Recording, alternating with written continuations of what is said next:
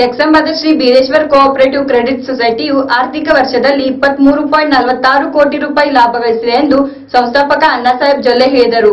ಎಕ್ಸಂಬಾದ Shri Bireshwar cooperative credit society ತನ್ನ ಎರಡ್ ಸಾವಿರದ ಹದಿನೇಳು ಮತ್ತು ಹದಿನೆಂಟನೇ ಸಾಲಿನ ಆರ್ಥಿಕ ವರ್ಷದ ಇಪ್ಪತ್ಮೂರು ಪಾಯಿಂಟ್ ನಲವತ್ತಾರು ಕೋಟಿ ರೂಪಾಯಿ ನಿವ್ವಳ ಲಾಭ ಗಳಿಸುವ ಮೂಲಕ ಗ್ರಾಮೀಣ ಭಾಗದ ಜನರ ಸಂಸ್ಥೆಯಾಗಿ ಶ್ರೀ ಬೀರೇಶ್ವರ ಸೊಸೈಟಿ ಹೊರಹೊಮ್ಮಿದೆ ಎಂದು ಜೊಲ್ಲೆ ಉದ್ಯೋಗ ಸಮೂಹ ಸಂಸ್ಥಾಪಕ ಅಣ್ಣಾಸಾಹೇಬ್ ಜೊಲ್ಲೆ ತಿಳಿಸಿದರು. ಯಕ್ಷಂಬದಲ್ಲಿ ಸುದ್ದಿಗೋಷ್ಠಿಯಲ್ಲಿ ಈ ವಿಷಯ ತಿಳಿಸಿದ ಅವರು, ಸಹಕಾರಿ ರಂಗದಲ್ಲಿ ಶ್ರೀ ಬೀರೇಶ್ವರ ಸೌಹಾರ್ದ ಸಹಕಾರಿ ಸಂಸ್ಥೆಯು ರಾಜ್ಯದಲ್ಲಿಯೇ ಅತಿ ಹೆಚ್ಚು ಶಾಖೆಗಳನ್ನು ಹೊಂದಿದ ಕೀರ್ತಿಗೆ ಪಾತ್ರವಾಗಿದೆ. ಈಗಾಗಲೇ ಸಹಕಾರಿಯು ಕರ್ನಾಟಕ ಮತ್ತು ಮಹಾರಾಷ್ಟ್ರದಲ್ಲಿ ಒಂದು ನೂರ ಐವತ್ತೆರಡು ಶಾಖೆಗಳನ್ನು ಆರಂಭಿಸುವ ಮೂಲಕ ಪ್ರತಿಯೊಬ್ಬ ಗ್ರಾಹಕರಿಗೆ ಆರ್ಥಿಕ ಪ್ರಗತಿಗೆ ಸಂಸ್ಥೆಯು ಶ್ರಮಿಸುತ್ತದೆ ಎಂದರು. ಸಂಸ್ಥೆಯ ಬೆಳವಣಿಗೆಯಲ್ಲಿ ಸಿಬ್ಬಂದಿಗಳ ಪಾತ್ರ ಪ್ರಮುಖವಾಗಿದೆ. ಜೊಲ್ಲೆ ಉದ್ಯೋಗ ಸಮೂಹ ಮೂಲಕ ಸುಮಾರು ಹದಿನೈದುನೂರಕ್ಕೂ ಹೆಚ್ಚಿನ ಜನರಿಗೆ ಉದ್ಯೋಗ ಅವಕಾಶ ನೀಡಿದೆ ಎಂದರು.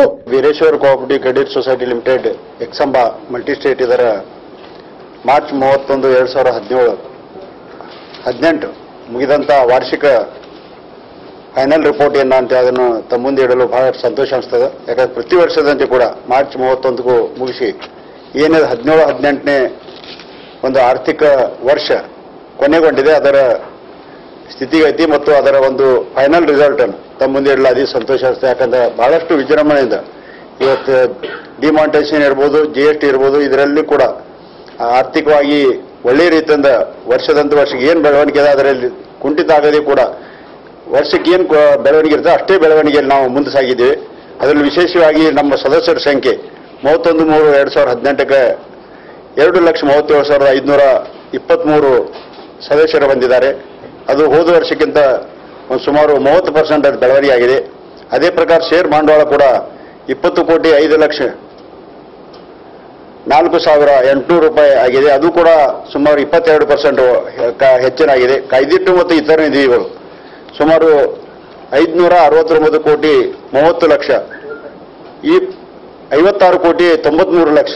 ಈ ಪ್ರಕಾರ ನಮ್ಮ ಕಾಯ್ದಿಟ್ಟು ಮತ್ತು ಇತರ ನಿಧಿ ಕೂಡ ಅಂದರೆ ರಿಸರ್ವ್ ಫಂಡ್ ಏನಂತೆ, ಇದು ಕೂಡ ನಮ್ಮಲ್ಲಿ ಅಕ್ಯುಮುಲೇಟ್ ಆಗಿದೆ.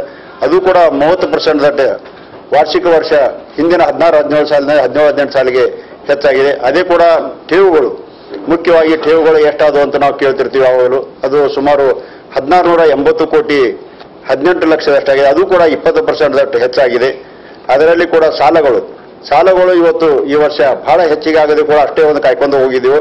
ಸುಮಾರು ಹನ್ನೆರಡು ನೂರ ಅರವತ್ತೆಂಟು ಕೋಟಿ ಎಂಬತ್ತು ಲಕ್ಷ ಸಾಲವನ್ನು ವಿತರಣೆ ಮಾಡಿದ್ದೀವಿ ಅದು ಕೂಡ ಒಂದು ಐದು ಪರ್ಸೆಂಟ್ ದಟ್ಟು ಆರು ಪರ್ಸೆಂಟ್ ದಟ್ಟು ವರ್ಷ, ವರ್ಷಕ್ಕೆ ಹೆಚ್ಚಿಗೆ ಆಗಿದೆ. ಮತ್ತು ಬ್ಯಾಂಕಿನ ಠೇವು ಮತ್ತು ಗುಂತವಣಿಕೆ ನಾವು ಜನರಿಂದ ಇಟ್ಕೊಂಡ ಠೇವುಗಳು ಮತ್ತು ನಾವು ರಿಸರ್ವ್ ಫಂಡ್ ಅಂತ ಏನು ಬೇರೆ ಬ್ಯಾಂಕ್ನಲ್ಲಿ ಇಡ್ತೇವೆ.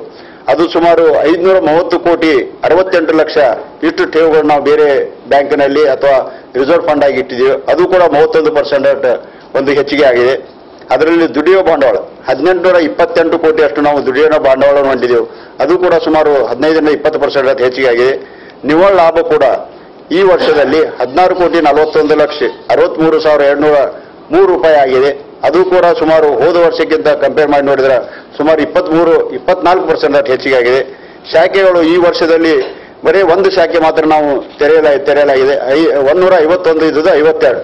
ಅದು ಕೂಡ ಈ ವರ್ಷದಲ್ಲಿ ಏನು ಒಂದು ನಾವು ಸೆಟಲ್ಮೆಂಟ್ ಸ್ಟೇಜ್ ಆ ಪ್ರಕಾರ ಹೊಸ ಕಾಯ್ದೆ, ಹೊಸ ನೀತಿ ಬರೋದ್ರಿಂದ ಈಗ ಸೆಂಟ್ರಲ್ ಗೌರ್ಮೆಂಟ್ ಕೂಡ ಒಂದು ಹೊಸ ನೀತಿಯನ್ನು ಇದರಲ್ಲಿ ಜಾರಿಗೆ ಮಾಡ್ತದೆ. ಅದ ಯಾವುದೇ ಒಂದು ಈ ವರ್ಷದ ಪರ್ಮಿಷನ್ ಕೊಡದೇ ಇದ್ದ ಕಾರಣ ನಾವು ಸುಮಾರು ನಲವತ್ತೆರಡು ಪರ್ಮಿಷನ್ ಕೊಡಾಗಿದೆ ಅದು ಒಂದು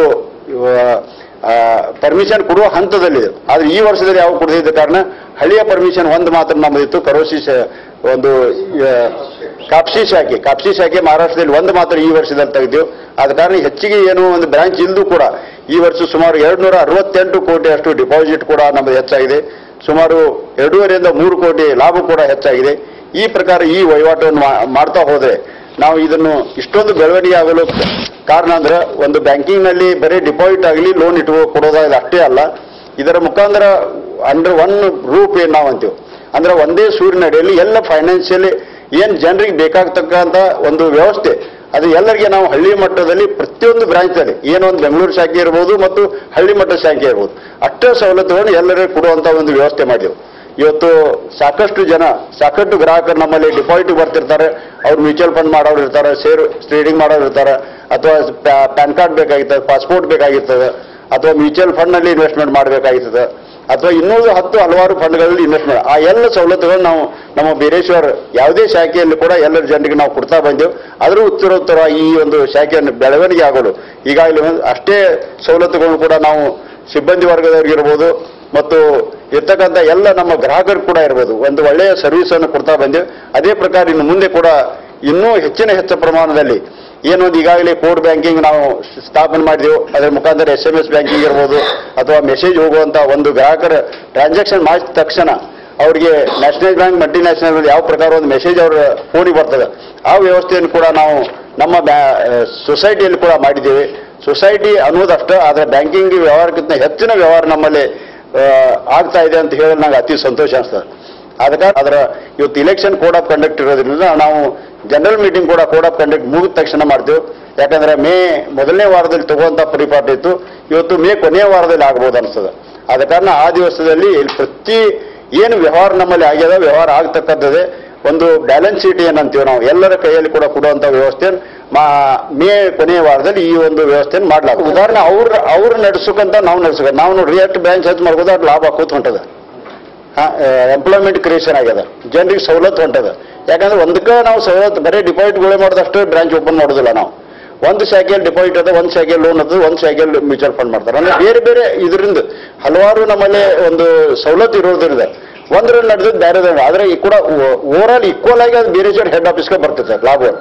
ಒಂದು ಕಡೆ ಸ್ವಲ್ಪ ಮಟ್ಟಿಗೆ ಲಾಸ್ ಆಗ್ಬೋದು, ಒಂದು ಕಡೆ ಪ್ರಾಫಿಟ್ ಆಗ್ಬೋದು, ಅಥವಾ ಒಂದು ಕಡೆ ಬೇರೆ ವ್ಯವಹಾರ ನಡೀಬೋದು. ಅವ್ರು ಓವರ್ ಆಲ್ ನೋಡಿದ್ರೆ ಬ್ರಾಂಚ್ ತೆಗೆಯೋದ್ರಿಂದ ಲಾಸ್ ಅಂತಾರ ತಪ್ಪು ಕಲ್ಪನೆ ಅದ ಅಲ್ಲಿ ಆ ಮ್ಯಾನೇಜ್ಮೆಂಟ್ದವರೆಲ್ಲ ಸಿಬ್ಬಂದಿಯವರು ನಡ್ಸಕ್ಕಂತ ನೀತಿ ನೀತಿ ಅದರ ಮೇಲೆ ಅದು ಅವಲಂಬನೆ ಇರ್ತದೆ. ಈ ಸಂದರ್ಭದಲ್ಲಿ ಬೀರೇಶ್ವರ ಸಹಕಾರಿಯ ಉಪಾಧ್ಯಕ್ಷ ಸಿದ್ದರಾಮ್ ಗಡ್ದೆ, ಜ್ಯೋತಿ ಪ್ರಸಾದ್ ಜೊಲ್ಲೆ, ಅನ್ವರ್ ದಾಡಿವಾಲೆ, ಶಂಕರ್ ಶಾಹೀರ್, ಕಲ್ಲಪ್ಪ ಜಾಧವ್, ಪ್ರಧಾನ ವ್ಯವಸ್ಥಾಪಕ ರವೀಂದ್ರ ಚೌಗ್ಲಾ, ಉಪಪ್ರಧಾನ ವ್ಯವಸ್ಥಾಪಕರಾದ ಎಂ ಕೆ ಮಂಗಾವತೆ ರಮೇಶ್ ಕುಂಬಾರ್ ಸಹಾಯಕ ಪ್ರಧಾನ ವ್ಯವಸ್ಥಾಪಕರಾದ ಬಿಎ ಗುರವ್ ಸುರೇಶ್ ಮಾಣೆ ವಿಜಯ್ ರಾವುತ್ ಸೇರಿದಂತೆ ಮುಂತಾದವರು ಉಪಸ್ಥಿತರಿದ್ದರು.